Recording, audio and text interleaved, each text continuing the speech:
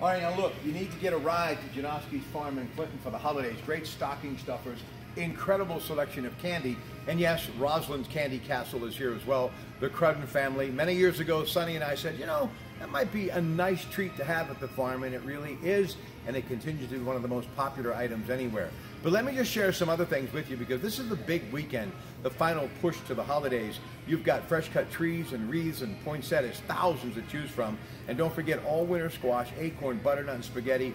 Three for $2, 20 pound bags of potatoes, $9, and two for $15.